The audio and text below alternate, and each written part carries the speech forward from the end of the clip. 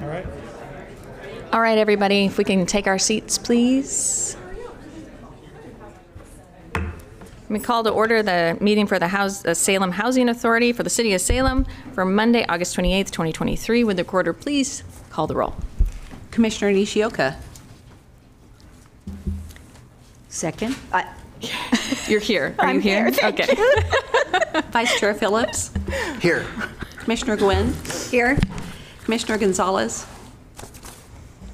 Here. Commissioner Hoy. Here. Commissioner Nordyke. Here. Commissioner Varney. Here. Resident Commissioner Villegas. Here. Chair Stapleton. I'm here. Thank you.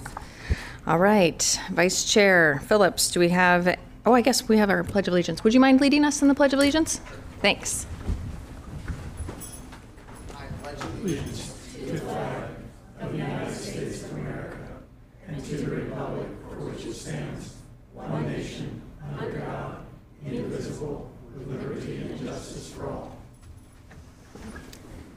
Thank you. All right, now I'll ask you the question. Do we have any additions or deletions? Not tonight. Okay, thank you. And do we have any public comment? Not tonight. All right, Vice Chair Phillips, the consent calendar. I move the consent calendar. I'll second that. Thank you. Moved by Phillips, seconded by Nishioka. So our consent calendar consists of the uh, item 3.1A, which is the July 24th, 2023 draft Salem Housing Authority minutes. And that concludes the consent calendar. Is there any discussion? Seeing none, would the recorder please call the roll? Vice Chair Phillips. Aye. Commissioner Gwyn. Aye. Commissioner Gonzalez. Aye. Commissioner Hoy. Aye. Commissioner Nordyke. Aye. Commissioner Varney. Aye. Commissioner Nishioka.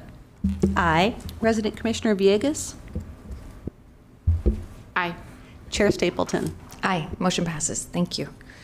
All right, we have no public hearings tonight and no special orders of business, but we do have, if I might say, the most beautiful information report that I've ever seen. Um, And we do have Nicole Utz here.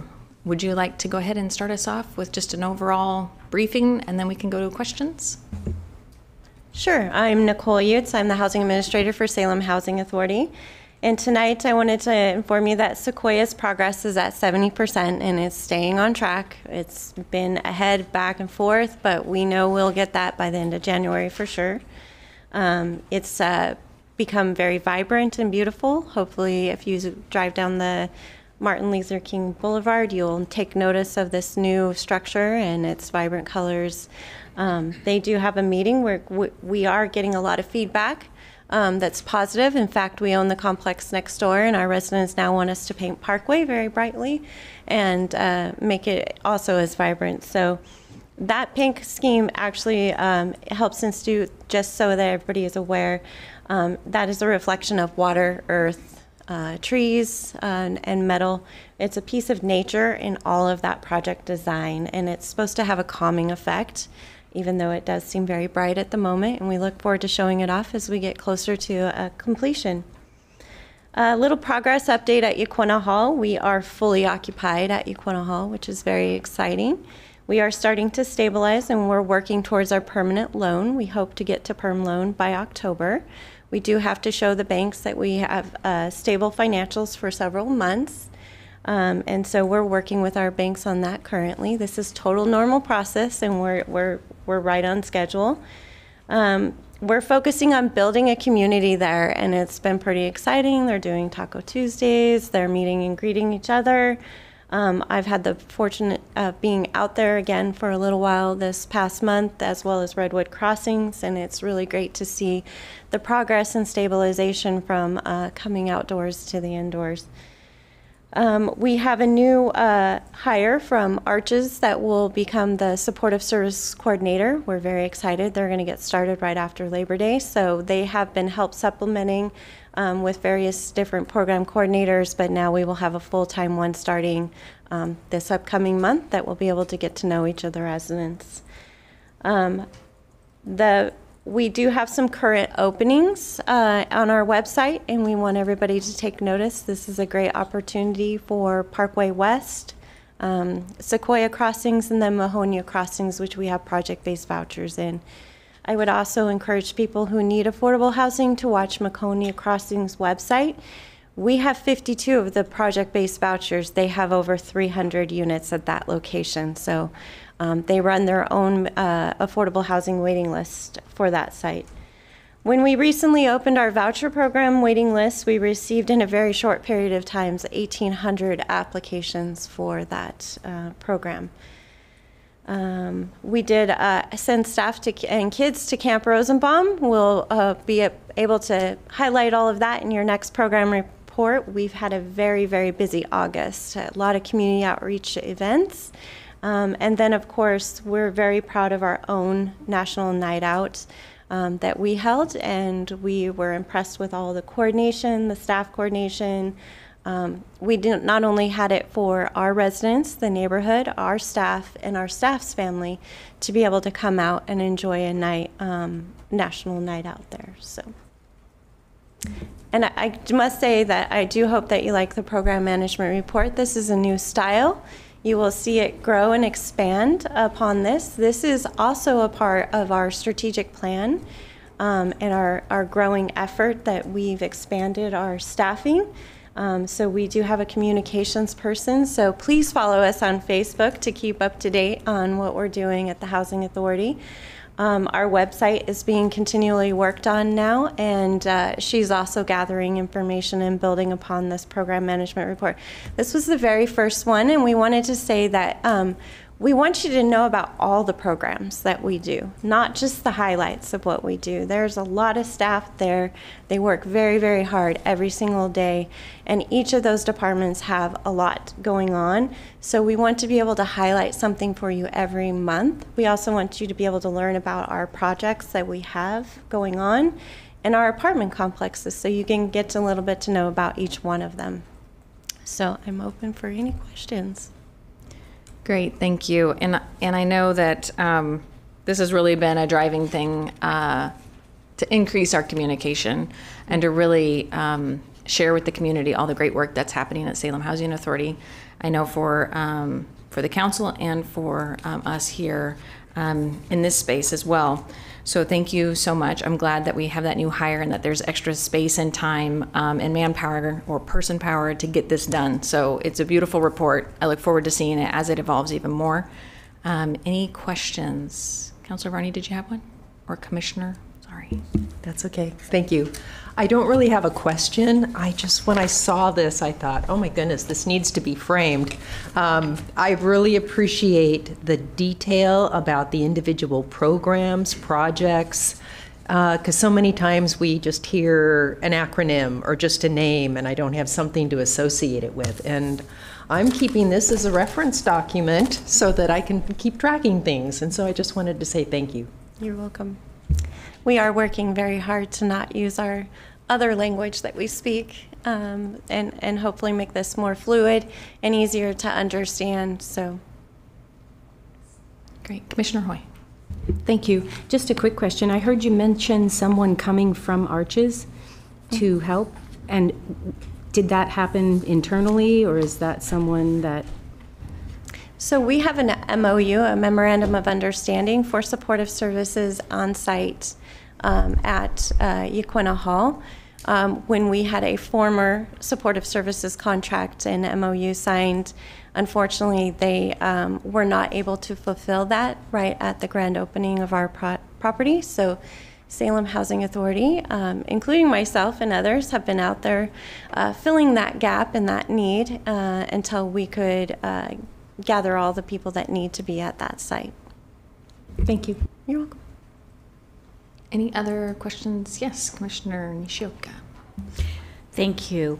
I, too, want to just compliment this program and when uh, the, the um, layout of this and the information that's provided. And the first thing I thought of is, oh boy, could we get something similar to take to the neighborhood associations in the sense that then we can present all the great work.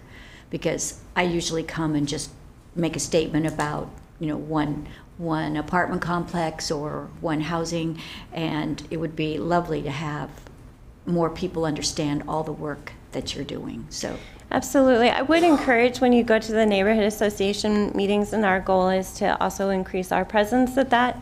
Um, but we do have a subscribe now online on our website, and this will be converted into what is called our uh, SHA magazine, and we will be getting that out to anybody who monthly subscribes. So we are trying to increase our communications broadly to whoever wants to receive it. wonderful. Thank you very much. Okay. All right. I don't think we have anything else on the agenda. Thank you so much for being here and the great report. We are adjourned. Thank you.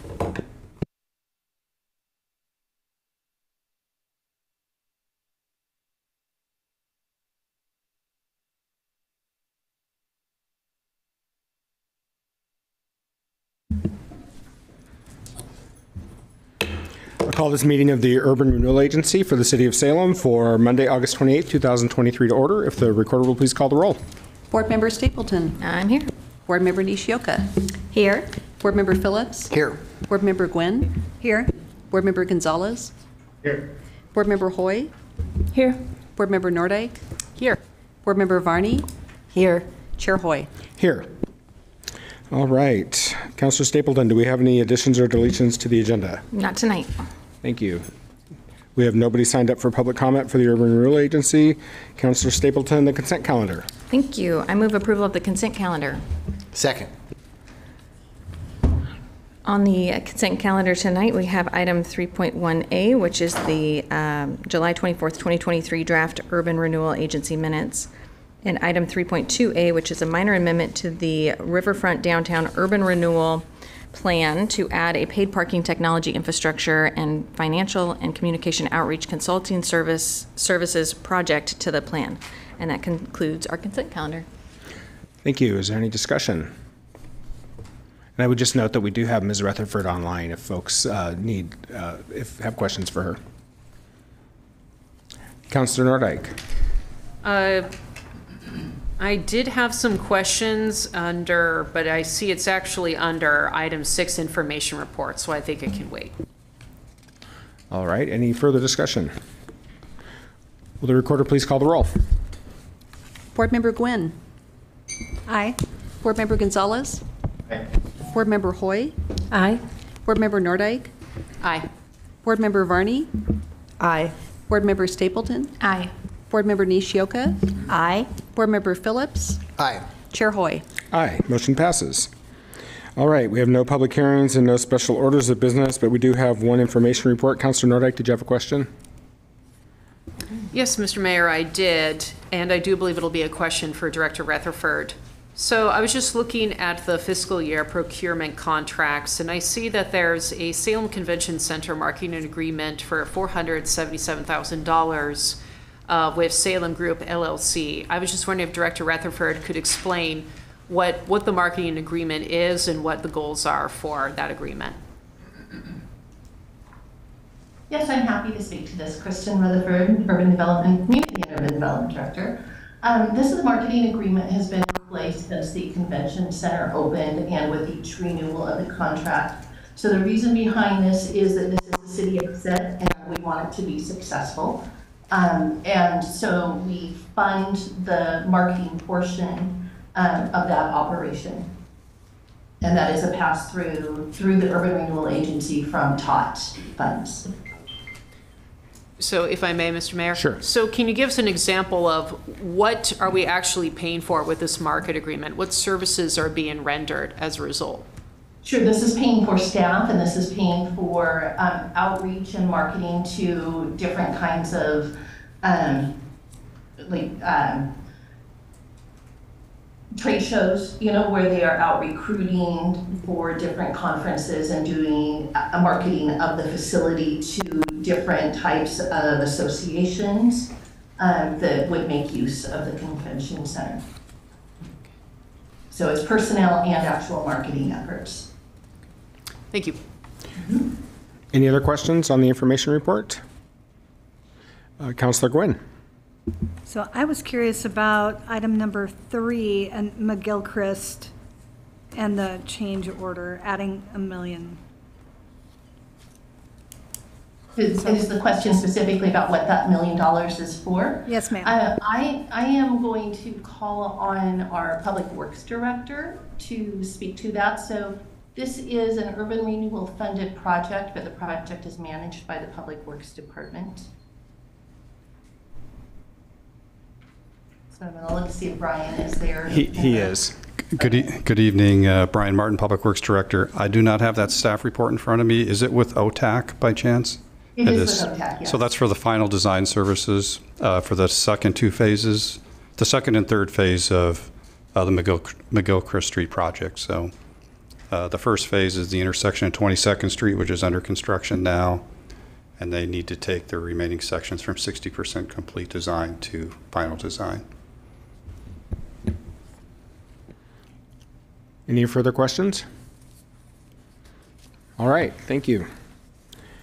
Uh, Let's see, we have no further business for the Urban Renewal Agency, so we're adjourned. And I'll call to order this meeting of the Salem City Council for Monday, August 28th, 2023 to order. If the recorder will please call the roll. Councilor Stapleton. Here.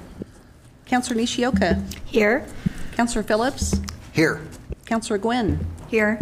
Councilor Gonzalez. Here.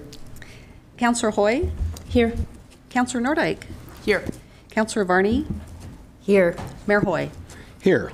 Could I just remind folks to be sure and silence your cell phones? Uh, We've had a couple go off already, so if you could just be sure and check and make sure they're on silence, that would be fantastic. Thank you so much. All right. Uh, Councilor Stapleton, any additions or deletions to the agenda? Not tonight. All right. It is now time for council and city manager comment. Do we have any?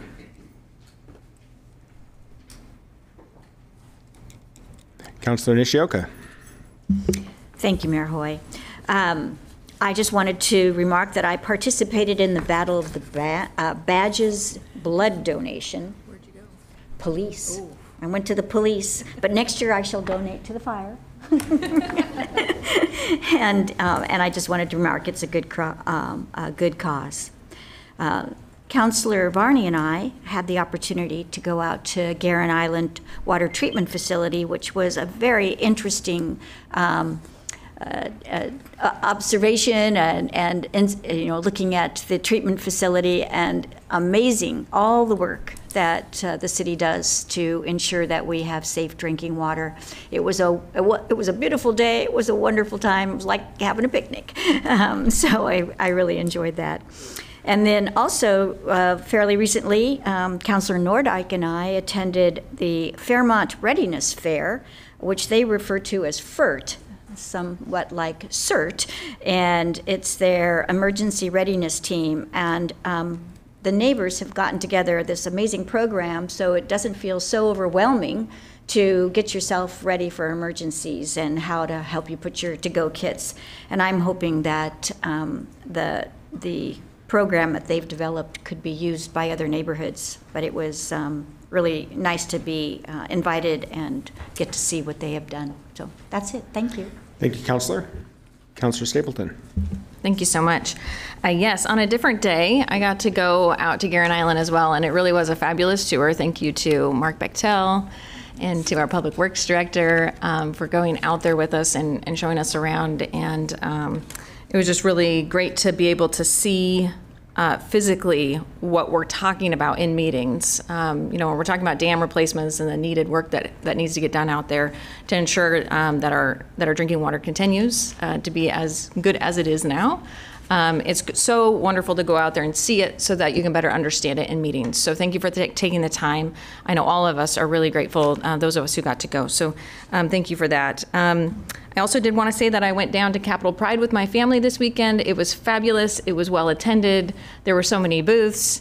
Um, and really just a wonderful time had um, by all of us there. Um, so thank you to the folks who put that on. Uh, wonderful event. I wanted to give a, a little heads up. I'm going to be um, doing a show with CC Media on the Our Community Matters um, program uh, with Salem Housing Authority, and we're going to be talking about housing. Um, so I'm really excited to get um, in there and try and do my best to communicate with the with the community about um, just the struggles that we're having in our community. Every community across across the states uh, are really struggling with this. Um, so excited for that. And then lastly, I wanted to talk about pedestrian safety. Um, shockingly, uh, this last week, one of my family members was walking home from work and was in a crosswalk and was hit by a car. Um, they survived. I won't say they're okay. I think um, it was really, really traumatic for everybody. Um, they live with us, and so uh, we got to see the bruises kind of bloom on their body and help them treat their road rash on the other side of their body um, and just kind of hold their hand as they went through um, just the psychological trauma of being hit by a car. Um, the, the driver who, who hit them was blinded by the sun um, and couldn't see them in the crosswalk. And so uh, just really, it's, it's, you all know me. This is something that I'm really, um, really passionate about, um, about pedestrian safety, about bike safety uh, when it comes to folks, all transportation users um, within our system. And uh, so I am glad they're okay um, and uh, that, that we, it wasn't any worse. Um, but I wanted to just bring that here um, to remind everybody. It was a couple days after I was sitting at on uh, Center Street at 12th and saw somebody crossing in front of me um, and almost got hit by somebody turning. And then they tried to cross the other way when they had the light, and of course, almost got hit again. Um, and so it's just really, it's really hard to be a policymaker and experience things like this and know that with policy we try to shape human behavior and it's just so hard to do that work. Um, and it's it's just something I've been witnessing a lot lately, and I wanted to bring it here as just a way to to put a spotlight on it. And thank you for listening. Thank you, Councilor. I'm sorry that happened to your family member. Any other comments? Councilor Nordyke. Thank you, Mr. Mayor. A few things. Uh, First of all, for those who did not tune in to the Salem Housing Authority meeting that was held moments ago, I highly recommend it. They have a brand-new report that is an excellent snapshot of all the work that is happening by some of our unsung heroes every day to address the affordable housing crisis in our city. So kudos to Executive Director Nicole Utz and her entire staff for all the work that they do.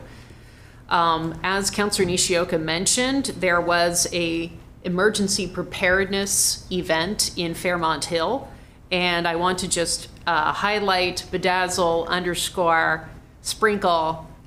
Did I mention highlight yet? I think I did. Everything she said. Uh, this is a completely replicable model. Uh, our neighborhoods can plan for disaster, and they should. And it's really not that hard if you do it step by step. And Paul and Katya in the Fairmount Hill neighborhood have done an excellent job of allowing people to baby step their way to emergency preparedness. And, you know, I used to scoff at that, but that was before I was a councilor and I came to know firsthand just how many emergencies arise in the city that may have nothing to do with me personally. At this particular event, this was their third annual emergency preparedness fair. Uh, so they're already ahead of the game. They had games for kids. They had updates on their neighborhood mapping project, information about caring for pets in a disaster, examples of what a go bag should look like, and a lot more. So if you're interested in bringing this concept to your neighborhood association, please reach out to me, and I'd be happy to connect you with the uh, the brilliant minds behind FERT. While we're on the subject of emergencies, I want to give uh, kudos and thank yous to our fire crews, our dispatchers, and all of our other first responders who rushed to aid in the South Salem fire. Thank you so much to all of our firefighters and everyone else who sprang to action to preserve life and property that day. Uh, this is a powerful reminder that wildfires can happen very close to home. Uh, we can have ice storms, we can have heat storms, we can have unhealthy breathing conditions from wildfires in our area. So if you have not done so, please sign up to get the community alerts on your phone, They can be texted to you. They can be called. They can be emailed. What or all three. I don't judge, but I do think it would be a good idea if everyone signed up for that. Um, that I think would do a, go a long ways in ensuring that people take care of themselves and then assist their neighbors as appropriate. And then capitalizing on uh, what Councillor Stapleton said, Pride in the Park was a gorgeous event. Congratulations to Capital Pride for yet another extremely successful event. I don't know what the final numbers are, but several thousand would be a reasonable estimate of how many folks were in attendance. My organization, Casa Marion County, was proud to bring a, a booth to that event. And we had a lot of people just say, Thank you, Casa, for being here. It really sends a message. And I was so pleased to see so many other community partners present, uh, including a number of houses of worship, a number of community partners like Punks in the Park, uh, and a lot of entrepreneurs and private businesses as well. So I'm a big believer in this community, and I also believe that our LGBTQ plus community has always been there. They've always been living here, but have we always had a Pride in the Park event that truly celebrates and allows people to show up as they are and feel safe doing so? No, we haven't. So this is a new-ish phenomenon, and I'm really just so ecstatic and so pleased with the organizers. They even came by our booth during the day just to check in with us. Do you guys have everything you need? How was the process getting here? Do you need extra water bottles?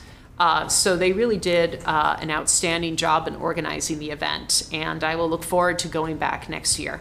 Thank you. Thank you, Councilor. And just as a reminder, if you're interested in signing up for the community alerts, you can go to the City of Salem webpage at cityofsalem.net and just type in community alerts in the search bar, and that'll take you right through the process. It's really simple. Are there any other comments? Councilor Phillips. Thank you. I uh, just wanted to take a moment to uh, talk about an event that um, my younger brother, who's a resident of South Salem, um, got to have last month, and the family, our large family, was invited to.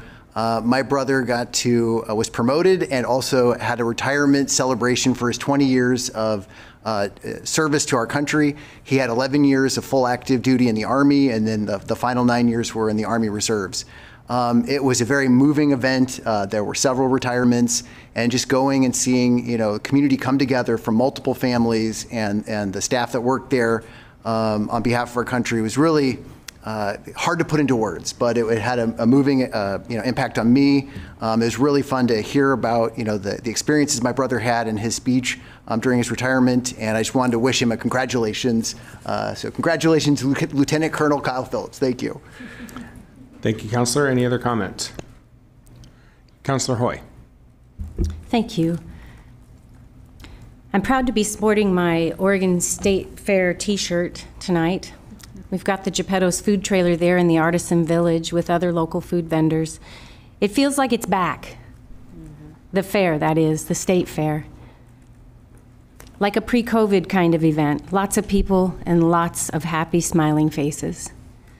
The fair means I'm back on my fair diet, not all at once. But over the 11 day event, I must at some point consume corn on the cob with butter and salt only, check. A smoked turkey leg, check. Oregon Dairy Women's swirl cone, check. Check. And yet to come, a hand dipped corn dog with mustard only. At this point, I'm so far ahead of the game, I may have to start my diet all over again. Last Friday morning, I had the pleasure, along with Mayor Hoy and Councilor Gonzalez, of attending the Walmart grand opening on North Lancaster. Grand reopening. That store made our life affordable as a young family. I'm just thankful they chose to double down and reinvest in the neighborhood.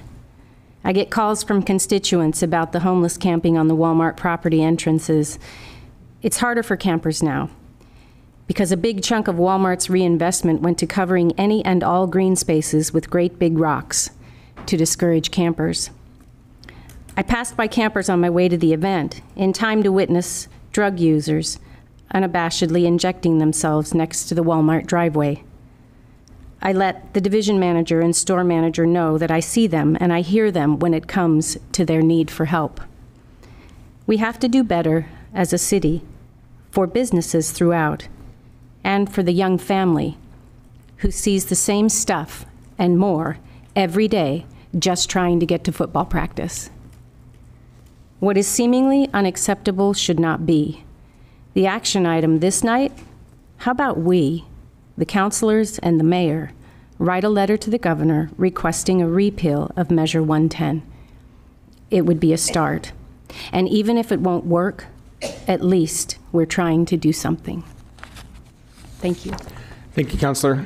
And just as a, a side note on the state fair, um, if you happen to be out there, stop by the Sister City Water booth. Thank you to Deputy Cis- City Manager Krishna Nam- Namburi, who helped uh, volunteer there yesterday. I, I spent a few hours there selling water for our Sister City program, and it's right next to Fat Schlags, the best hand dipped corn dog that I've found at the fair so far. So I checked that one off yesterday.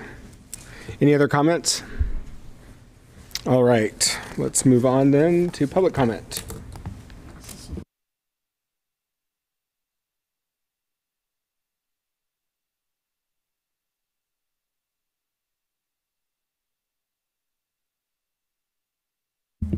All right. As a reminder, if you come on down to the, when your name is called, hit the button so the green light comes on. Introduce yourself with either your address or your ward. You have three minutes. When the yellow light flashes, that means you have one minute remaining. And when the red light comes on, that means your time is up. So please end your comments at that time. First, we will start with Curtis Grubbs.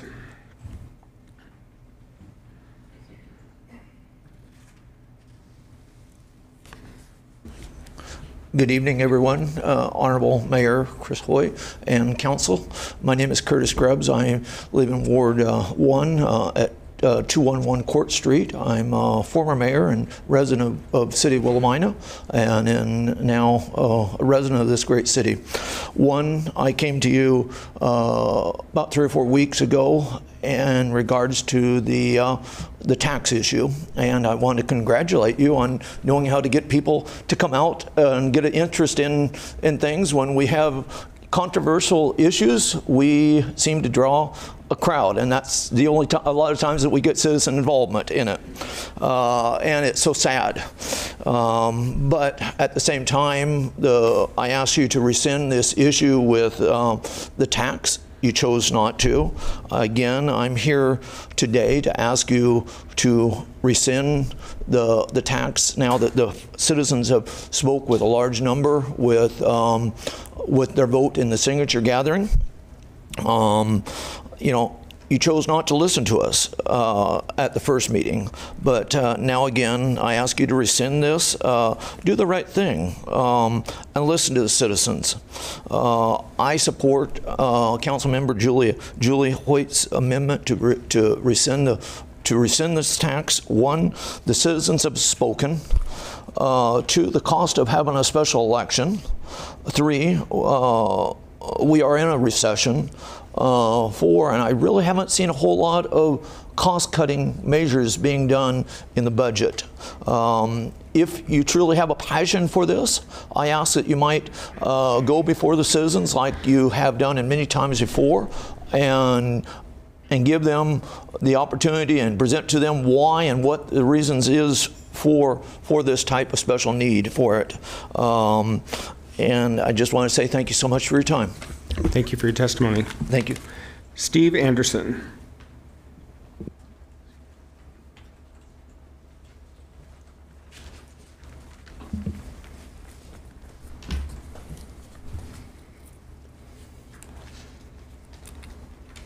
Mr. Anderson, I see that you're signed up for 3.1A, which is our minutes. Yes. Okay. I'm speaking directly to council actions, no new testimony per the request on the minutes on the sheet. Okay. So, Steve Anderson, Ward 8, West Salem Neighborhood Association. I've always been taught to look to virtue in the lives of actions of others. However, I'm having a tough time with the council's failure to perform their civic duty in the sitting of a quasi-judicial body on the Titan Hill deliberations. We were treated to the dark side of politics and money. Council members clearly abandoned their integrity and credibility. Silence prevailed. I understand many of you are new to the council process, have little or no experience dealing with these proceedings, and being charged with looking at all the contested issues and facts. Couple this with the city attorney sending a council an email outside public view where he chose not to explain your duties and responsibilities. The absence of deliberations in the minutes upon the evidence of 51 disputed claims screams that the fix was in. Failing to address our request to investigate compliance with tree code ordinance demonstrated a complete lack for the citizens of West Salem and their needs. Our evidence showed clearly that the applicant just asked for a tree code variance. Nothing else was done to follow the requirements. We offered step-by-step examples of how to comply and maintain the density requested. Council could have denied the tree code variance like staff did with the parking variance, then offer the applicant 30 days to respond and correct and Mr. move Anderson, I'm going to have to ask you to stop for one second. I'm sorry, Mr. Anderson, you know very well you can't speak to the merits of an application that's already pending. So uh, the record's closed, the hearing's closed, you can't speak to the application. So I can speak about the actions of council then, If you want correct? to talk about the, what happened during the minutes, that's fine, but you can't speak to this application. Okay. We'll keep it simple then. All right?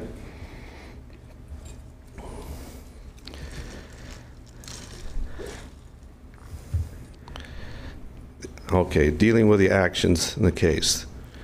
The mayor is obligated to read the council into the investigation of the facts. This was not done.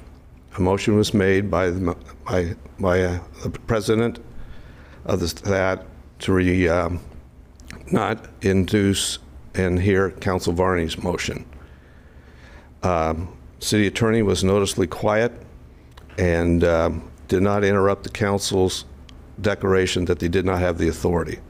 That said, our conclusions are is that this council, as Samuel said to Israel, has gone astray after strange gods and prostrated yourself on the altar of development and money. The requirements were clear and they were not followed. So I ask simply that as the motion for reconsideration be considered in the decision and leave it there. Thank you. Thank you, Mr. Anderson. Tim Cowan.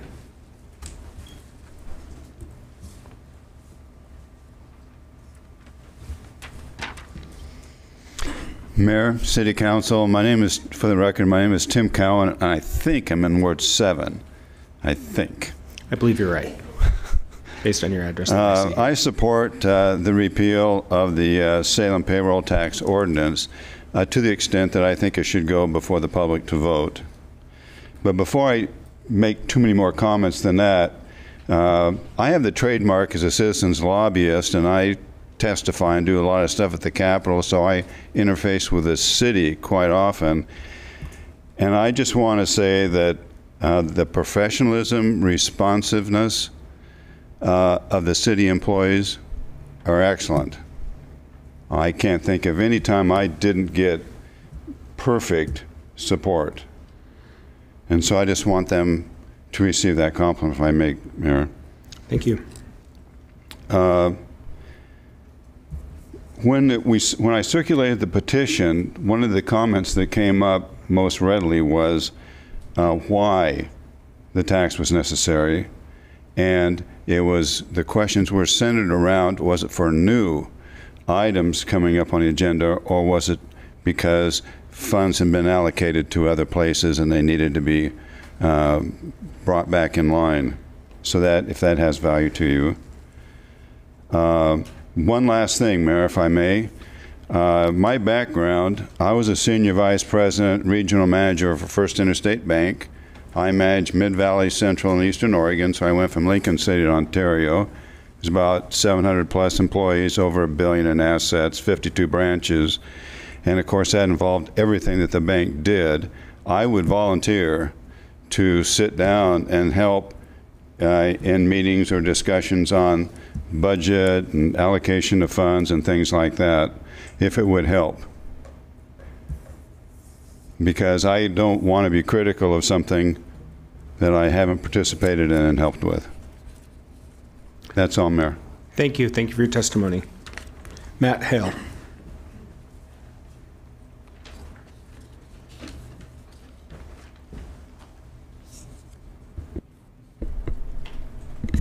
Uh, Good evening. Um, Good evening, Mayor, City Councilors. Um, I'm Matt Hale from Ward Number Four. Uh, I'm here also to fully support uh, the motion from Councilor Julie Hoy to repeal of the Safe Salem payroll tax ordinance and urge all of you to take the first steps to do that this evening. I've long been a believer in the decision-making process called the Oregon Way. A recent Travel Oregon article in 2021 summarizes it very well. Uh, the article stated, It's called the Oregon Way, and it harkens back to the decision making approach used by great Oregon politicians, namely former governors Tom McCall and Bob Straub, former Senator Mark Hatfield and Senator Ron Wyden, who spanned both sides of the aisle. Senator Wyden explained it like this in 2009. The Oregon way is more about taking good ideas wherever they come from, rather than from one party or from one philosophy. Um, I would like to just uh, finally say that uh, we really need to restart this discussion, and it requires clarifying information being publicly, publicly distributed to residents and voters that I think is misleading. Um, all of us received this recently in the last month or so about Safe Salem funding, and I'd just like to make uh, one comment on that. One clear example is the one-page document that I just showed you, and it recently states that since 20, 2008, Salem has grown by 26,000 people, comparable to the city of Woodburn, yet we have not increased our staff, end quote. However, if you look at your fiscal year 2024 budget on page 436, it clearly shows that city staff has increased in the last six years by 165.20 FTE. That's about 14%. So I would urge all of us tonight to let's just stop with this misleading rhetoric that's going out to citizens, voters, and residents throughout the city. I'd like to also say that I would also volunteer with you, uh, Tim. I'd, I'd like to help. I'd really like to help our city. So let's come together tonight, begin the process to work together on behalf of all Salem residents, and look at all the good ideas that are presented to balance our city budget. Thank you. Thank you for your testimony. That's everybody signed up under uh, public comment until uh, later in the agenda when we'll have the, the other roster. Councillor Stapleton, the consent calendar.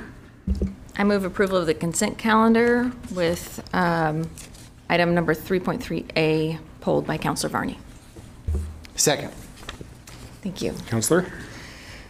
Tonight, we have a bunch on our consent calendar, starting with item 3.1A, the August 14th, 2023 draft city council minutes. Item 3.2A, the internal borrowing from the city's utility fund to the airport fund for property acquisition and capital improvements. Item 3.3B, a transfer of appropriations within the city's fiscal year 2024 budget for unanticipated changes. Item 3.2C, acquisition of property for the McLeay Road Southeast, Kiplinger Road Southeast pedestrian improvement project.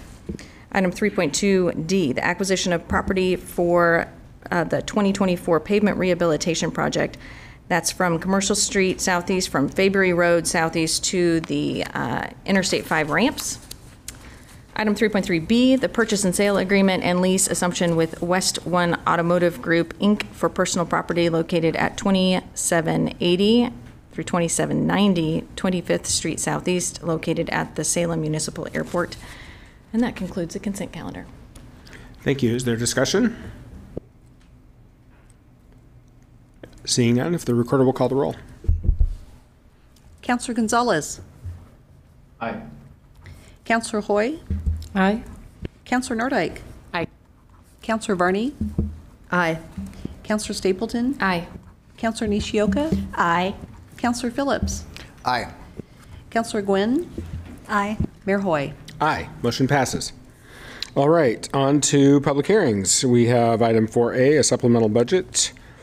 Uh, And we have Josh Eggleston, our CFO.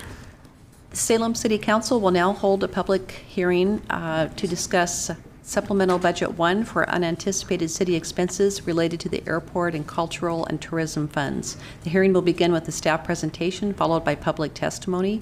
Individuals testifying are limited to three minutes. Thank you. Thank you, and just for the, for the councilor's knowledge, nobody has signed up for a public comment on this one.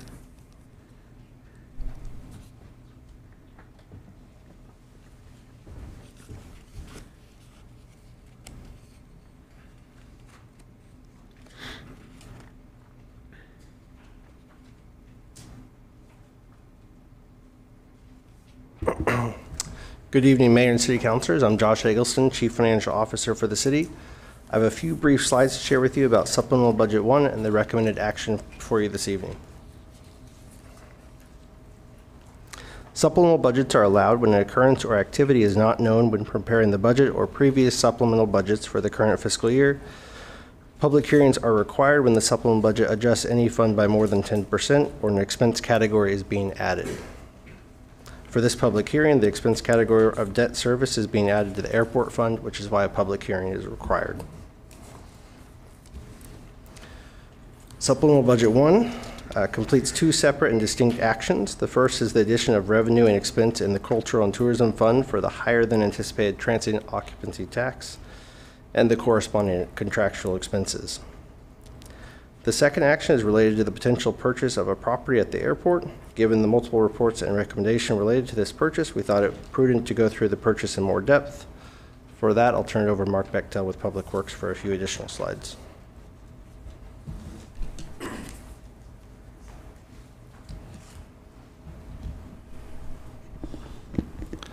Good evening, Mayor and Councilors. Mark Bechtel, Public Works Operations Manager. Avelo Airlines uh, will begin commercial air service at Salem Airport uh, October 5th uh, with uh, flights to both Las Vegas and Hollywood Burbank. Uh, our indications from the airline is that ticket sales are strong. One of the concerns we've had with the beginning of commercial air service is our supply of public parking at the airport. We currently have 155 spaces available for public parking.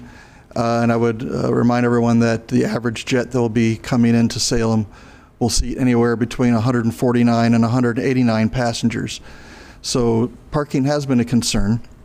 We've had the opportunity uh, presented to us to address that concern uh, by means of uh, the potential acquisition of buildings and improvements uh, for a property near the airport terminal. Most of us would recognize it as the Hertz Auto Sales property. It's uh, actually, those improvements are owned by West One Automotive Group. The, uh, the property is located at uh, 2790 25th Street Southeast, immediately north of the airport terminal. Uh, it contains uh, enough space, about 3, 3.5 acres, with enough space for 230 additional parking spaces. Uh, it has two buildings on the site, uh, a office building with a little over 8,000 square feet, and a vehicle maintenance building with about 3,500 square feet. Um, one of the things this would allow us to do through acquisition of this site is to then increase the amount of public parking available to us. It would also provide buildings for uh, office space for the airport, as well as uh, potential office space to lease out to other entities such as rental car, rental car agencies uh, or possibly another government entity. In order to make the facility connect to the airport, uh, to utilize this, this property, we would need to construct uh, a sidewalk between this property and the airport terminal. Uh, that sidewalk would cost about $151,000. The property is unique in that the property itself, the underlying property owner of this property is the city of Salem. Uh, the city leases the property to Carpenter Commercial Properties who then has been subleasing it to West One Automotive Group. So the action before you tonight would be to acquire the buildings and the improvements and the assignment of the lease uh, from West One Automotive Group. Car Carpenter Commercial Properties would continue to be the leaseholder uh, for property that we own.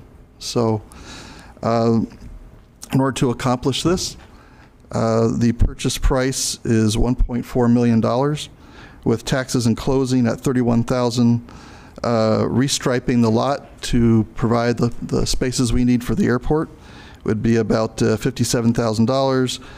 As I mentioned, the new sidewalk, $151,000. Uh, we have indications that the HVAC system needs uh, replacement or improvements or repairs, so a set aside of $200,000 for that. which would bring us for a total acquisition and utilization amount of $1.839 million. Uh, It is proposed that that financing come from the city's utility fund. I would point out that that amount of money is significantly, significantly less than the $2.6 million it would take to build an equivalent-sized parking lot uh, on the rest of city, of the city's airport property. Uh, So this is con- considerable savings. Also, when you consider that we'd be gaining two buildings as part of that process.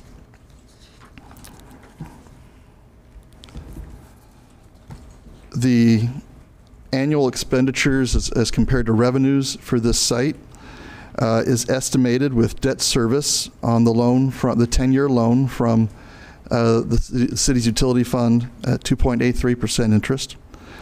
Uh, the annual debt service would begin at $210,620 per year. Uh, we would still continue to lease uh, from Carpenter Commercial Properties, and the, the difference between what they pay us and what we'd pay them is about $25,000 a year.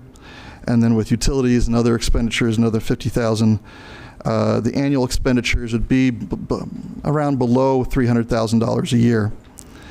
Uh, the ability to charge for public parking for the airport, as well as uh, lease uh, leasing ability for parking spaces or building, uh, could bring in as much as anywhere from $445,000 a year to $645,000 a year in that range. Uh, so our annual uh, revenues should be able to more than cover the annual, annual expenditures associated with the acquisition and utilization of the property. In summary, acquisition of the improvements on this property creates an additional 230 parking spaces for public parking or a combination of public and rental car parking. It is significantly less expensive than building a new parking lot of equal size. Uh, It gives us the ability to move our airport administrative offices out of the terminal building, freeing up more space for future airport expansion. Uh, Also would provide leasable office space for rental car agencies or other entities. Uh, Would provide a much-needed uh, maintenance building uh, that could be shared between a rental car agency uh, and city vehicles so that we could maintain airport vehicles uh, on site as opposed to bringing them to the city fleet location. Uh, The amount of annual re- revenue would be greater than anticipated annual expenditures. If commercial air service were to discontinue, the property uh, would have considerable resale and lease value. Uh, It's an appreciating asset. Uh, One thing we want to make, uh, uh, want to emphasize is that this internal loan from the utility fund to the airport fund does not impact the city's general fund.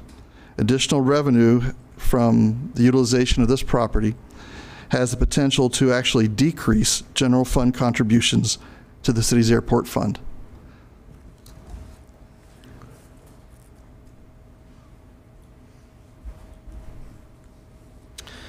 To bring us, to bring us back to this specific recommendation, you can see the two requested budget actions here for the airport fund and for the cultural tourism fund. And this concludes the staff presentation, and we're available for questions after public comment. Thank you. Thanks, Josh. No, no, we didn't have any public members sign up for a comment on this. Can you clarify on the cultural and tourism portion of this? Basically, more people are staying in our, in our hotels uh, than we, than were anticipated. Is that what happened here? Yes, that's correct. We're, we're experiencing a higher than anticipated transient occupancy tax or TOT uh, receipts. Uh, Since we're doing a supplemental budget, seemed prudent to include it. Uh, We identified it early in the year. Um, We had to do something for last year, so we're, we're anticipating it this year also. Thank you. Other questions for staff?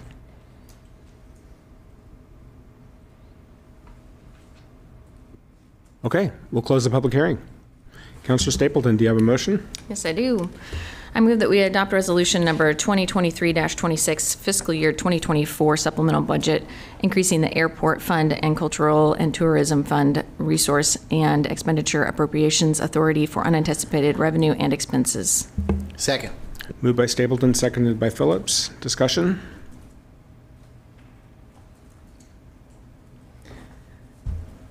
Uh, Sure, I'll speak to my motion. Thank you.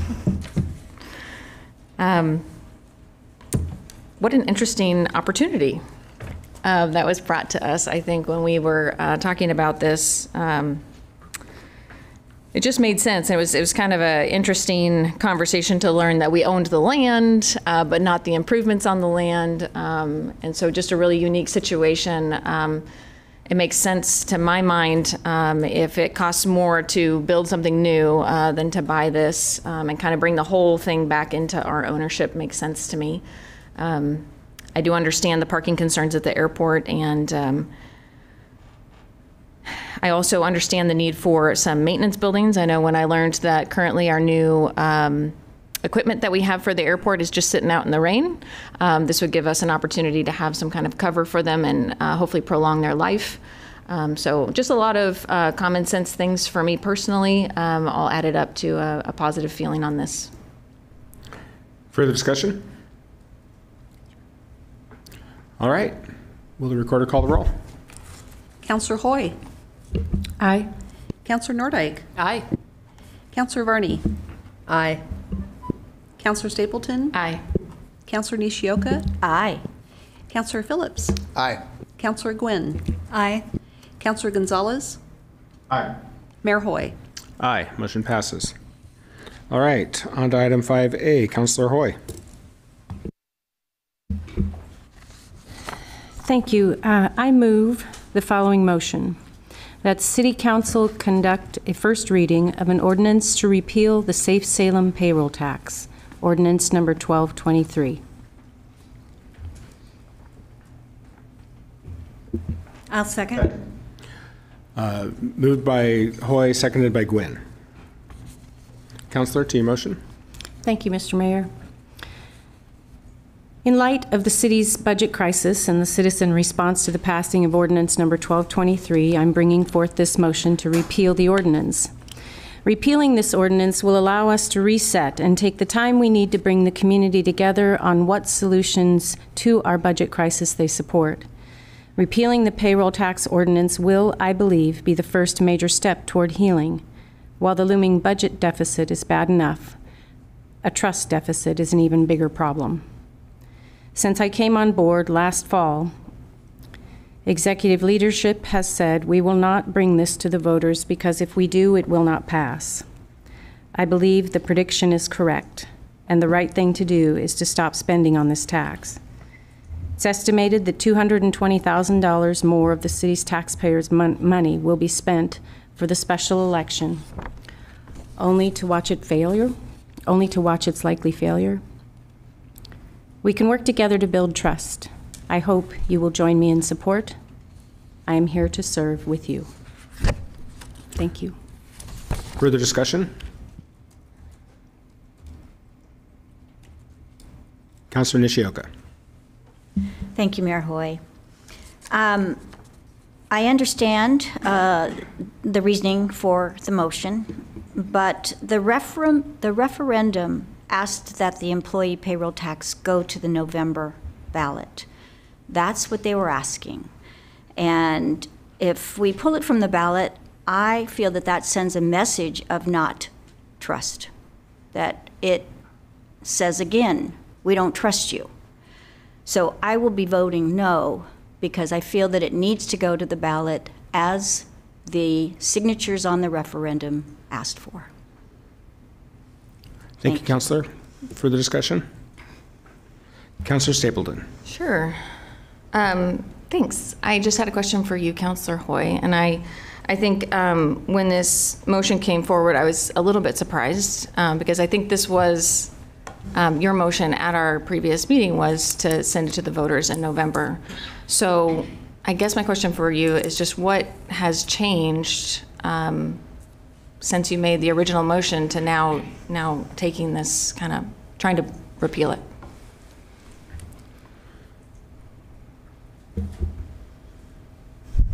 When this came up, um, my messaging has been the same all along.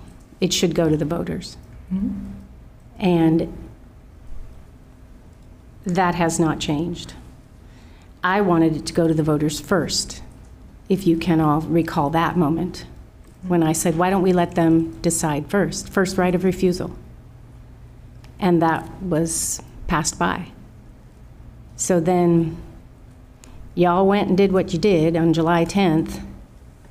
And if it's not going to pass, why are we going to spend the money to try to make it happen? So that's why. Um, so when you made the motion to send it to the November ballot, did, were you aware that, of the costs that would be with that, or, okay.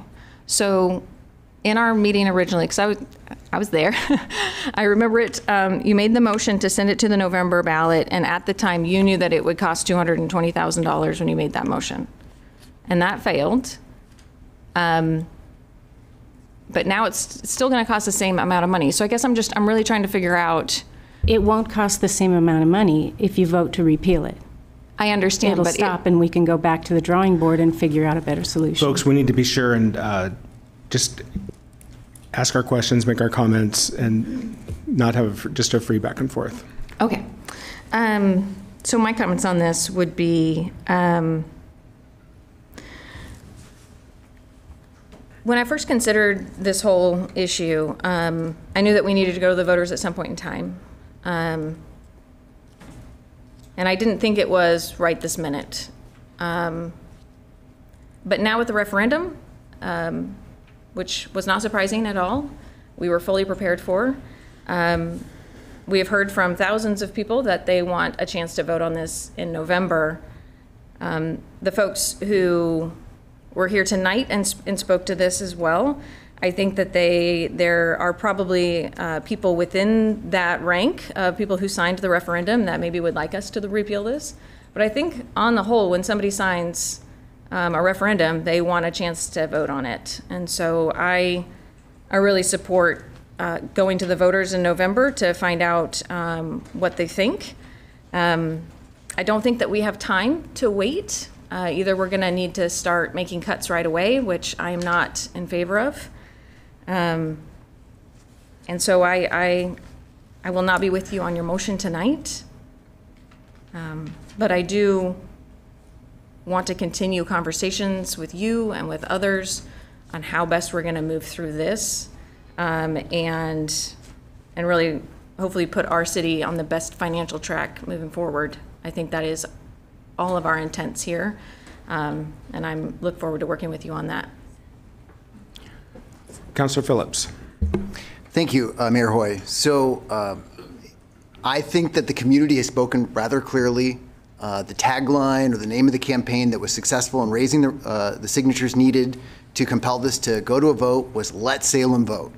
I find that effort compelling. I think we should let Salem vote.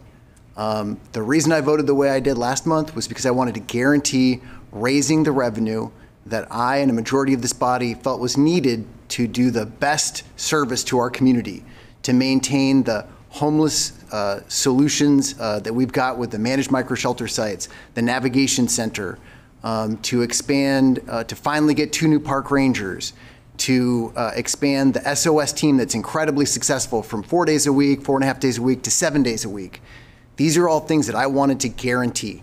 But if the community has, has spoken very clearly that they want to vote on this, I'm okay with that. I'm not okay with the cuts, but if the if the citizens vote on it and the voters choose that, then we will budget within that constraint. But until that time, I want to see as clearly as possible. I am concerned for our safety without this. Um, you know, I, I heard in the testimony earlier tonight that there's some disagreement. The facts are the facts. We have frozen our number of uh, full-time employees compared to the general fund compared to 2008, 2007. And we have grown by 26,000 people. And the call volume for EMS has gone up 80, 85% in the last 10 years. So, uh, you know, every single stakeholder within the general fund budget expects full optimal funding. Uh, it's frustrating to me that those those entities wouldn't, you know, help us in this effort to raise the revenue we need to give them their full optimal funding. But I still think we need it. You know, like I'm concerned for our safety as an emergency room doctor without these revenues. Uh, I know it's an ask. Uh, it's it's a it's a bigger lift for our community. Uh, I implore them to to vote yes. Uh, it, it, when and if this gets to go to the ballot, which I think it should at this point. Um, and I've gotten additional information in the in the months since we voted on this There are people who've told me that the only part of this they disagreed with was that we didn't send it to the voters, and they intend to vote yes. Um, they found the, the testimony of uh, fellow members on this board and myself compelling, and they think it's got a chance of passing. Um, you know, there are people in our community who will not have their taxes raised by this, um, but we will all benefit from this. And, and if this doesn't pass, I mean, we, regardless, we will have to address the broken property tax system that we have in our state. We will have to address the fact that, you know, as the state capital, we have close to $2 billion of infrastructure here that we're not collecting um, any revenue on, and we're providing services to those people. We have unique constraints being, you know, the second or third largest city in the state and the home of the state government. So I think this takes a step in, in addressing the crisis of how short-staffed we are. Uh, the fact that we, as the second or third largest city in the state of Oregon, have zero people, or maybe one on paper, that are dedicated to communications, um, and Bend has eight. The fact that we're the second or third largest city in the state of Oregon, and we have only one long-range uh, city planner, where Eugene has eight. I, mean, these things are deeply concerning for our ability to respond to our ever-changing world uh, with many very real I mean, the opportunity cost of what's coming over these next several years and decade, I, I am very reluctant to ever agree to these kind of cuts. And that's, that's the trade-off. If we don't do this, the cuts are going to be very real, and we're going to find another way to make everyone upset. Thank you, Councilor. Further discussion? Councilor Varney. Thank you very much. Um, I don't have a lot to add. Uh, my colleagues have expressed a lot of my sentiments very, very much. Um, I think that this needs to go to the voters because we've been having a lot of discussions about trust and um, and building trust. And I don't see how repealing this ordinance helps us to build trust. It seems like the voters want us to do something, and now we're going to try to take it away from them. And I got this visual in my head of the Peanuts cartoon, you know, with the classic every fall we watch Lucy holding the football and Charlie Brown goes up and she pulls the football. I mean, there was even a time back in uh, 61 where she said, gee, don't you trust me anymore? And then she pulled the football again. And I see that as being very similar here. You know, we say, oh, we're going to do this, and then we don't do it. And then we, do, I mean, we need to be consistent, and the voters have asked um, to make the decision on this. They've said they want to make this decision. Um, they want to drive the car, and I think we need to give them the keys. Now, if it doesn't pass, yeah, we're all going to be faced, including them, the voters, we're all going to be faced with a new reality. Um, it's going to be painful. Um, I know we all have looked at what that looks like. Anyone who sat through the budget meetings uh, and the discussions about what was coming up would have a good idea of what we're facing. Uh, I guess I'm, I'm just really hoping that the voters, when, it, when they have a chance to vote on this, I really hope that they will take the time to do the research and really understand what they're voting on. And like uh, Councillor Phillips said, I too have received emails from folks who um, plan to vote in favor of this because they do, they have done more research and they do understand the dilemma. Uh, so I will not be supporting this. Thank you, Councilor. Further discussion? Councilor Gwyn.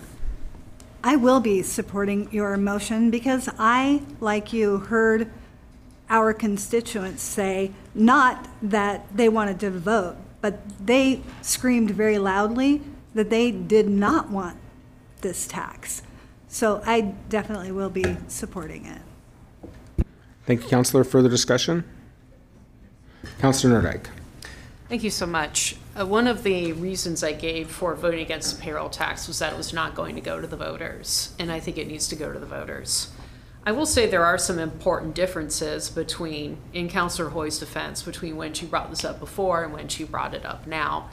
Well, now we have a $75,000 mailer that's gone out on taxpayer dime to explain why this should be done. And we didn't have the trust deficit then that we do now. That could have been avoided. the demand by the public to put this on the ballot was a completely foreseeable outcome of this vote. And unfortunately, now that it is going to the ballot, there are some voters who will never vote for this because trust has been irreparably damaged. They will not listen because the council did not listen. So there will be a punishment vote included in the wide number of votes on this matter, and that's unfortunate. Had this gone to the ballot, as we've done with a variety of other types of huge public investments, bond measures, and so on, then we stood a better chance of it passing. But because the council has proceeded in this order, that's why you see this voter outrage. And there is little that can be done in terms of education between now and November because of the outrage, not because of their capacity to understand or their willingness to take the time. It's the fact that now they do not trust the city and they feel that the city is telling them, we know best. You don't.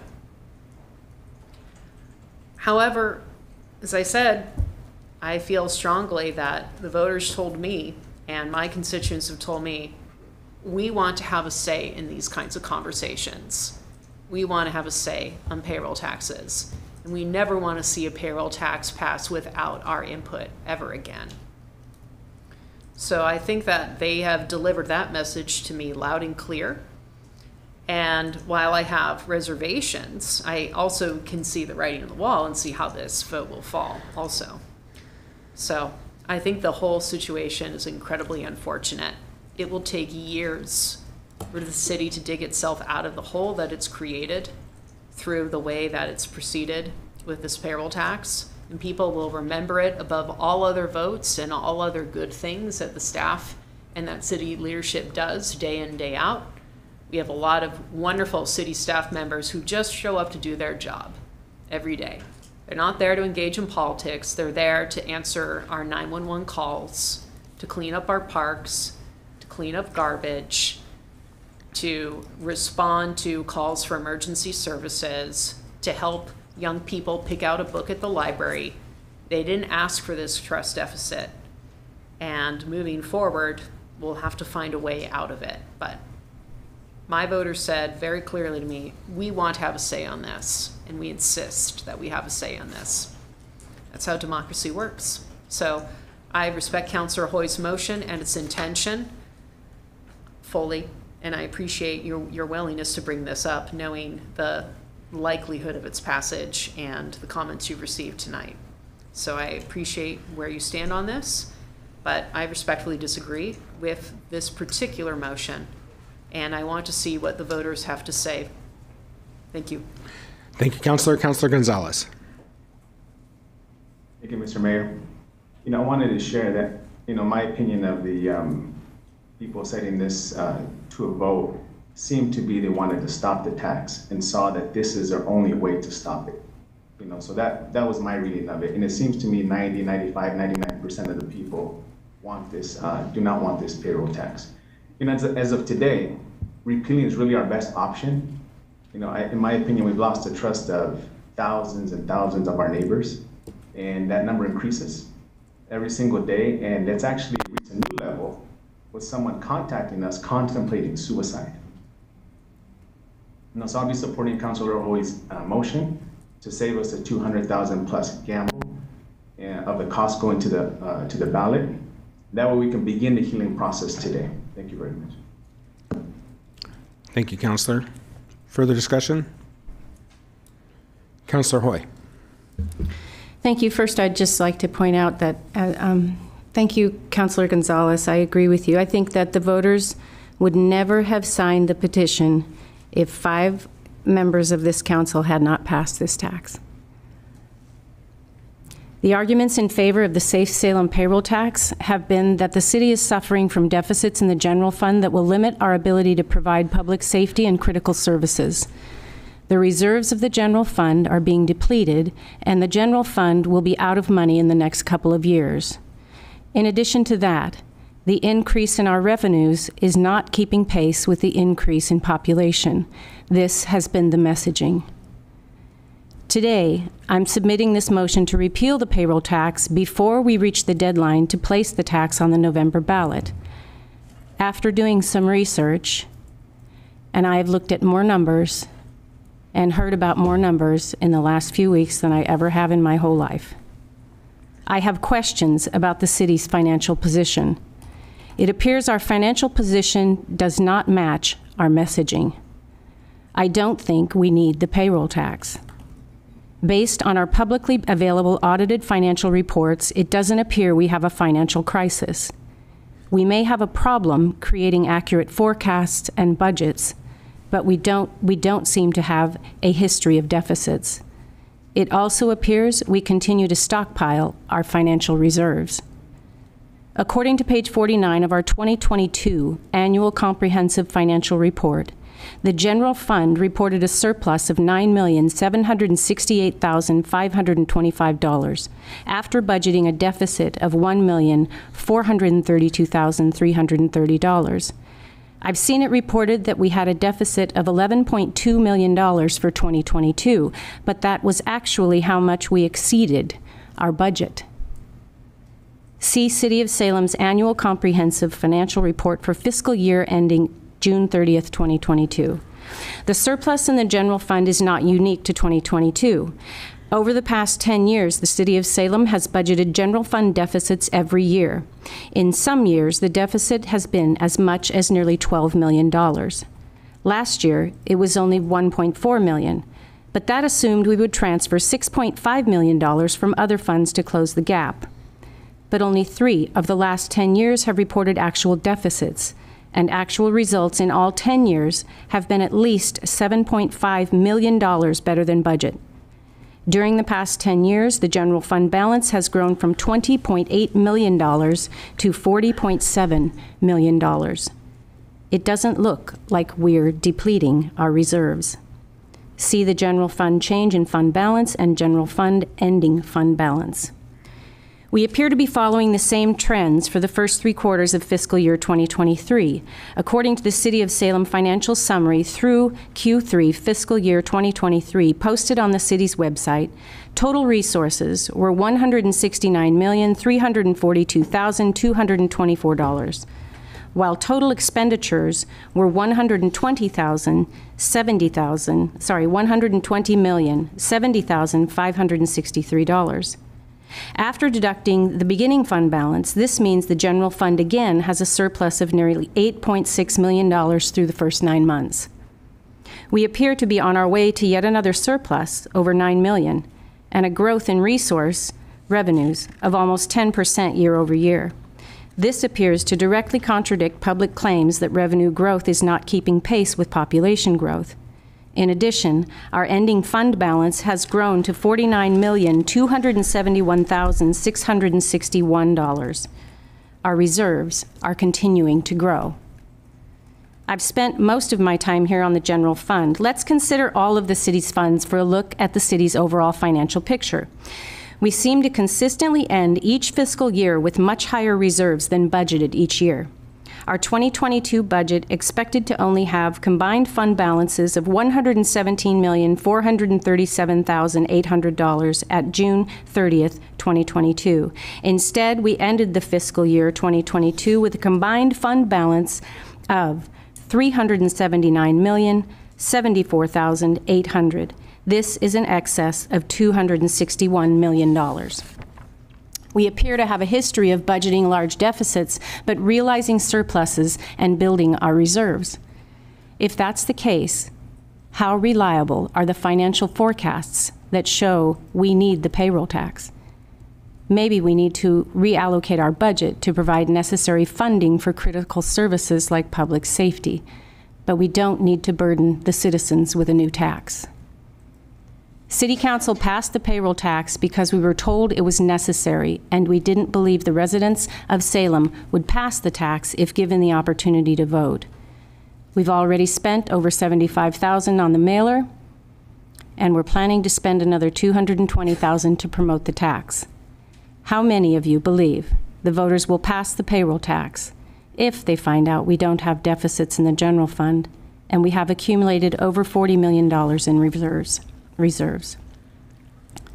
It is wise for us to spend, is it wise, rather, for us to spend any more money to promote this payroll tax? I ask that you join me in repealing the Salem payroll tax before it suffers defeat in the November election. Thank you, Councilor. Further discussion?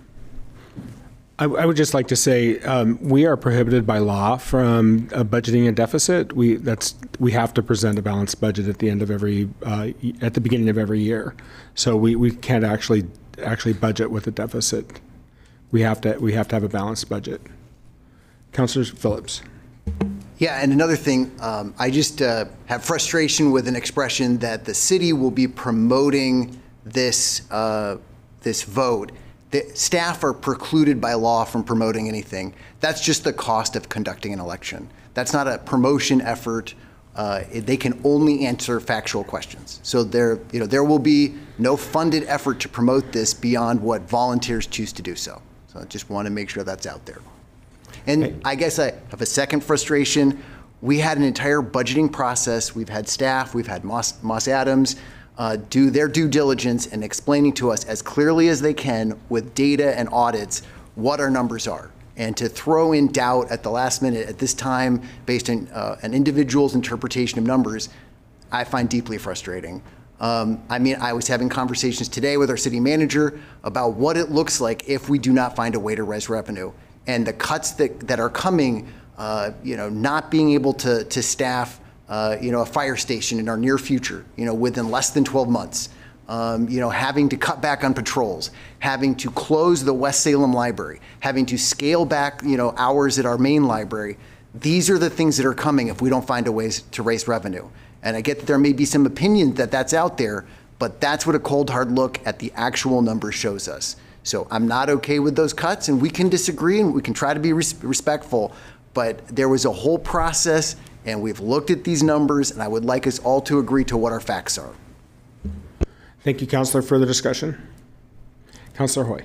Thank you. Um, I think in order to fully understand a budget of this size, we need more information.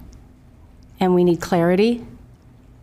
And that, I think, would come from the auditing effort that happens every year. I think that those folks could give council the opportunity to ask questions and understand what's happening. Um, and the numbers don't lie. So I think they need another look, certainly before we implement a tax. Thank you, Councilor. Uh, My thoughts on this, somehow this conversation shifted from whether we should allow the voters to vote to whether or not the tax is needed, and I'm not sure why, how that happened or why that's the case, but I was prepared to talk about whether or not we ought to repeal this or not, or allow it to go to the, to the ballot. Um, I was not in favor of sending it to the voters uh, for the reasons I've stated previously, but and that was 100% within our purview to do. That's with- within the, the right of the council to implement a tax that, in our best judgment, was the right thing to do. We did that. And it was 100% within the purview of the voters to initiate a petition and refer it to the ballot. They, that's part of our democratic process. We did our part. The, now residents have done their part, and now it's time for the voters to vote.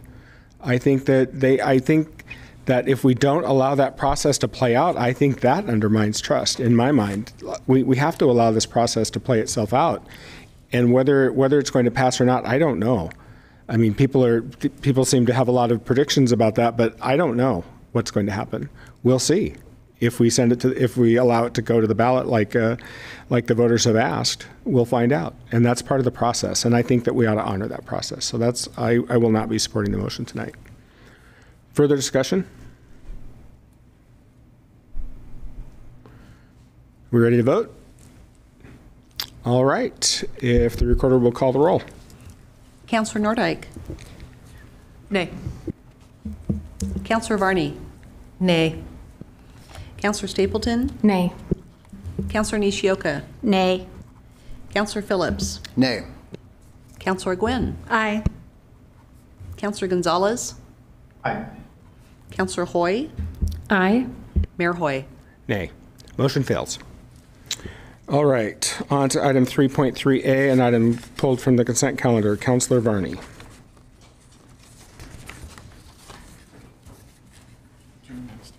Do I make a motion? Since it's the second one?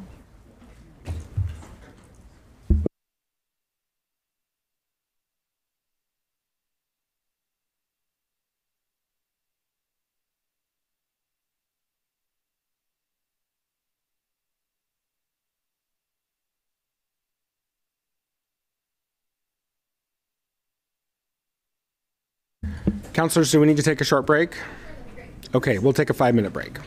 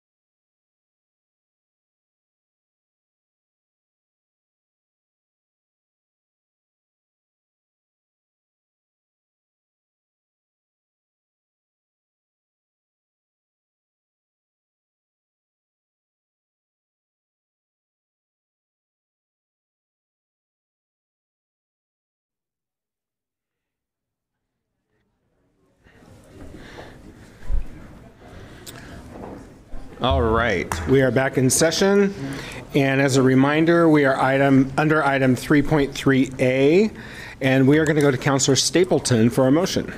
Thank you. I move that the council adopt a final order to affirm the planning administrator's decision to conditionally approve the consolidated uh, application for subdivision tentative plan, urban growth area preliminary declaration, class three site plan review, three class two adjustments, tree regulation variance, and a class one design review, case number. what- Do I need to read all that? No. Okay, No. thank you. With the, with the case number noted. Do we have a Second. Moved by Stapleton, seconded by Phillips. Councilor, to your motion? Uh, Thank you.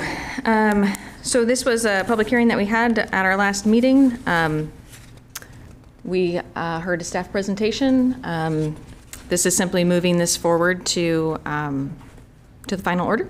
And I encourage councilors to vote with me. Thank you. Councilor, Councilor Varney.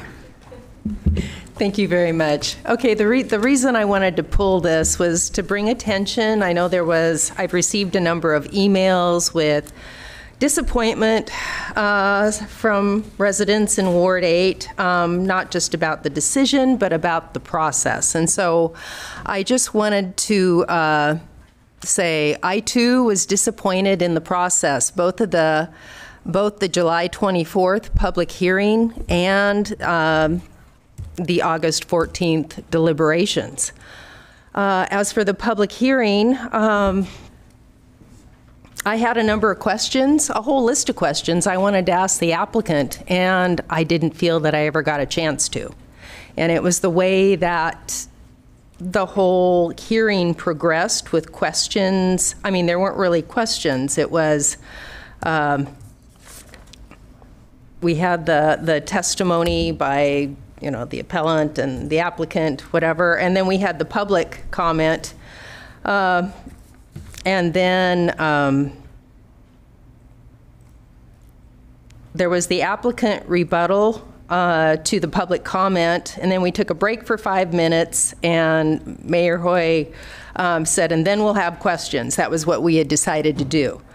Uh, And then we came back, uh, and then there were questions for staff, and councilors had tons and tons of questions, and they were really good. This was a very complicated decision, and there were questions about uh, ADA and, and Councilor Phillips' questions about LUBA, and there were questions about um, Dalkeys, and I mean, there were, there were a whole bunch of things.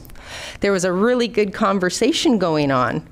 Um, and then Mayor Hoy said, now, questions of the applicant.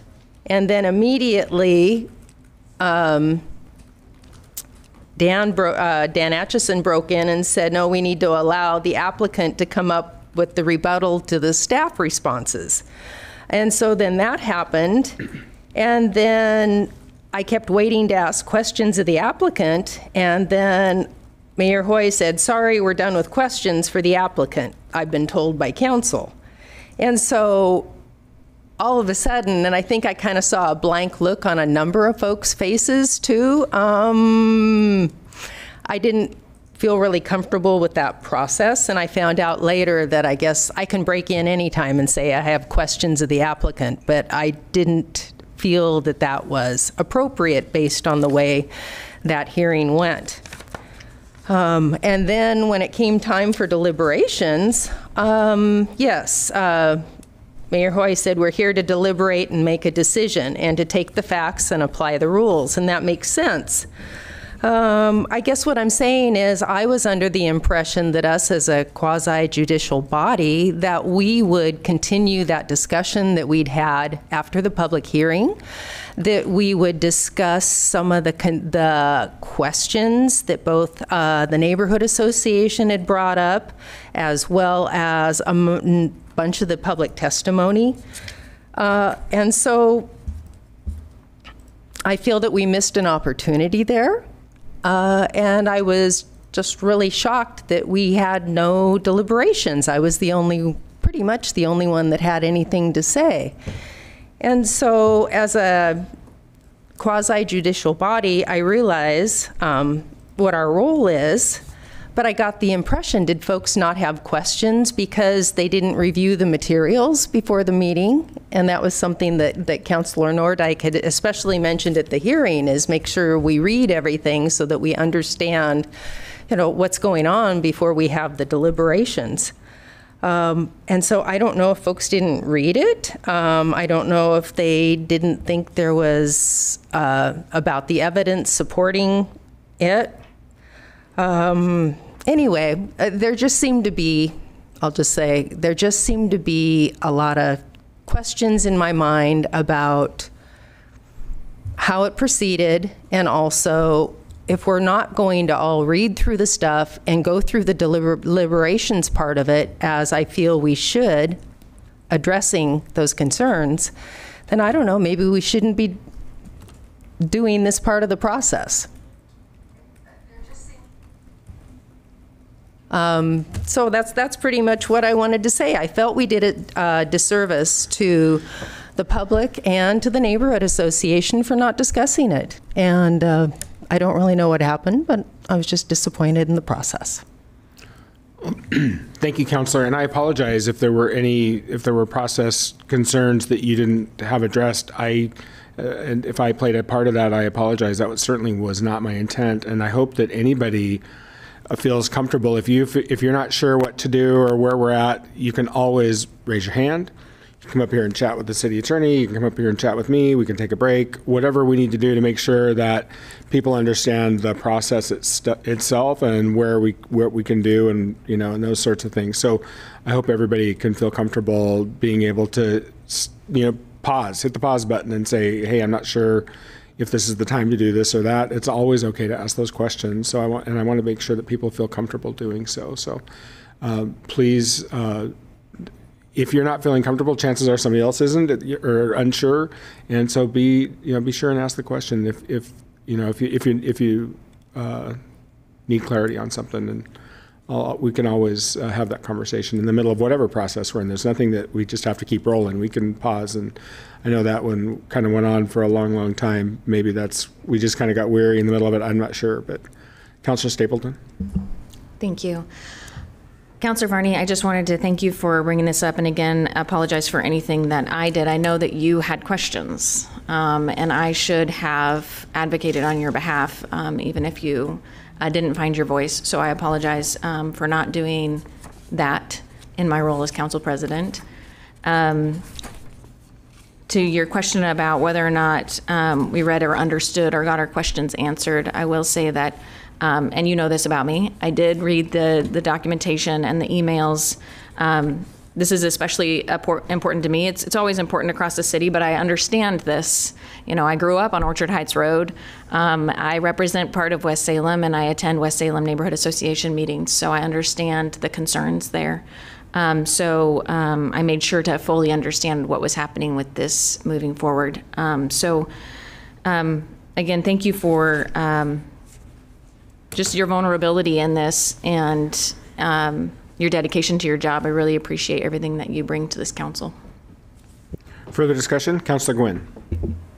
I just wanted to speak, um, Councilor Varney. Um, I did read the entire packet. I also went on to because there's a link in the um, that that to all of the testimony, all of the applications. So I went through all of that. I also had the week before called and spoke with staff and had like an online meeting for over an hour. Um, so I didn't ask questions at at our council meeting, but I spent a lot of time. I mean, I'm sure Lisa, she's not here, but she would tell you that I asked a ton of questions and even made some suggestions that they said, oh, you can't do, we can't do that. Um, so I, I did spend hours pouring through the materials. So I just wanted you to know that. Councilor Varney. Thank you. And I appreciate the feedback. I, I do. Um, when I said that, I mean, during deliberations when there was silence, it was hard to know one way or the other what had occurred just because it was just, you know, nobody was saying anything like, I read through it and I feel comfortable with this decision or something. Um, and I got the impression, well, I did, a, an email I got, um, a resident was really angry because she said, well, if we're just going to rubber stamp things, I mean, if people are getting that impression, like we don't read through it and we just pass things through, I appreciate what you've said because it shows that you do go through it and read it. And I too did that whole list. so I really, yeah, there was a lot of stuff. It was big. So thank you. Thank you, Councilor. For the record, I too read the packet and had a meeting with staff regarding that topic uh, prior to our deliberation, so I, I didn't have a bunch of questions past the ones that I had already asked in, during the public hearing, so. Yeah, Councilor Phillips. Uh, Thank you, uh, Mayor Hoy, and thank you, uh, Councilor Varney, for pulling this and, and your comments.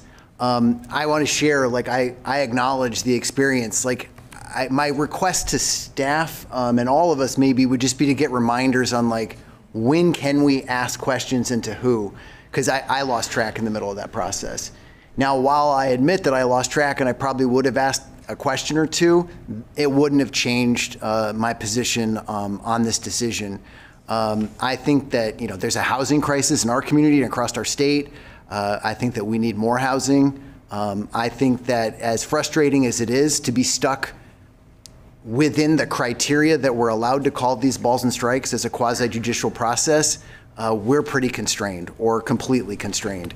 So, you know, as a takeoff, and it might not be like the appropriate time to bring it up, I don't think that, you know, we should look at a future where we don't get involved in these processes as much, where we don't actually have discretionary power.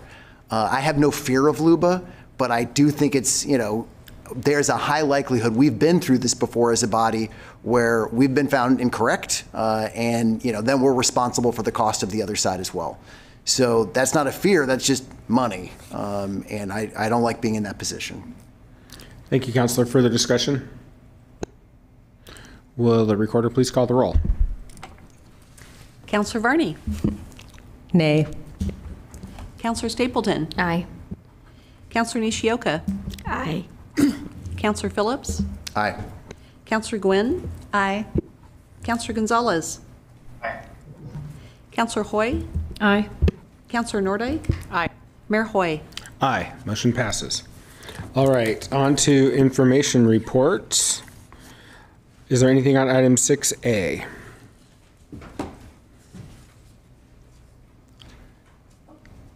I, that's why I was taking that long pause. I thought I had heard that somebody had a question on one of them. Councilor Gwyn. Hit your button for us.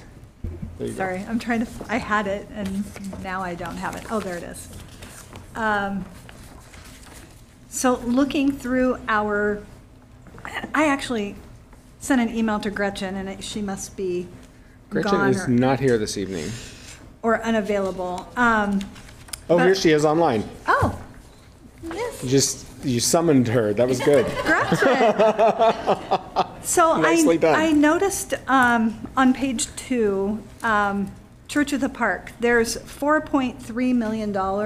And I understand it's pass-through for grants, but I was just curious what those funds are for. Is this staffing? Is this supplies, materials, or is it mostly staffing? Councillor Gwyn, Mayor and City Council, this is Gretchen Bennett responding. You'll have to forgive me. I don't have that document up in front of me. I want to ask Josh, is that our micro shelter village allocation? That's what that sounds like to me. Yeah, Gretchen, it's the grant agreement for Catholic Community Services and Village of Hope.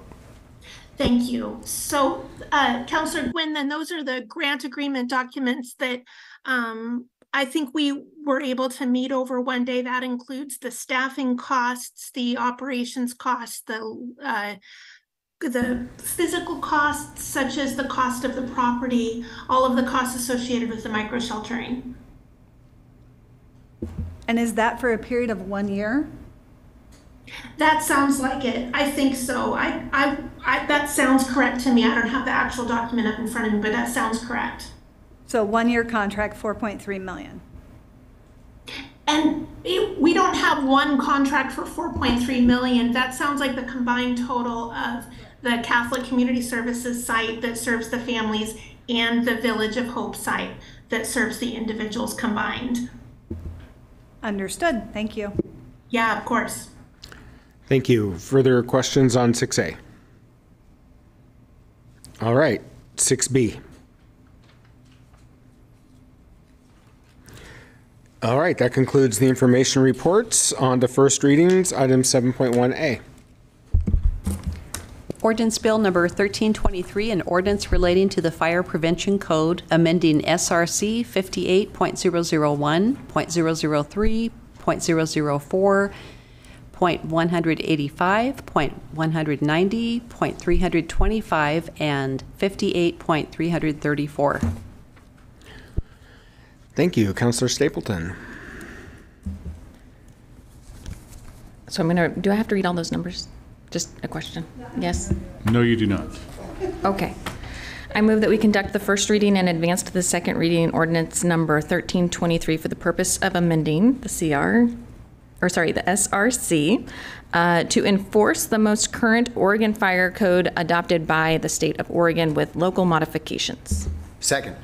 Moved by Stapleton, seconded by Phillips. For discussion?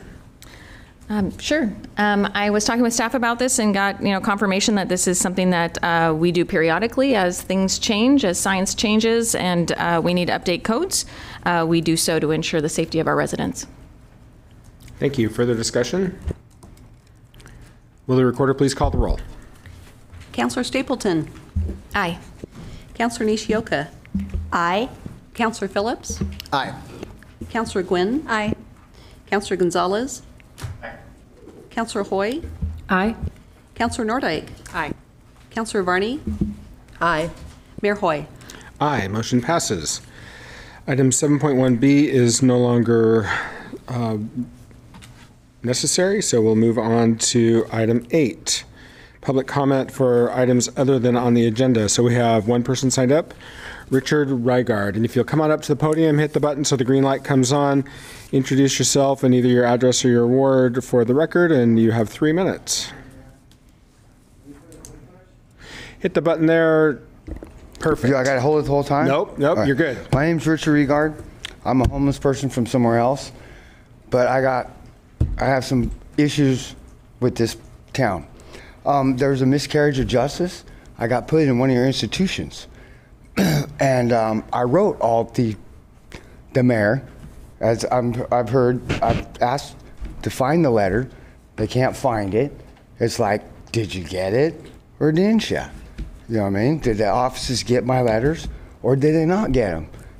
I already talked to a few facilities already that say they never got them. You can't find one.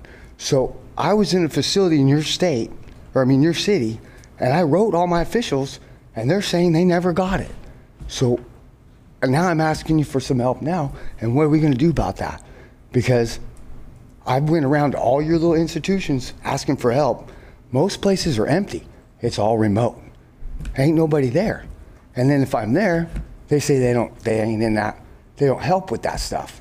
And they don't know anybody.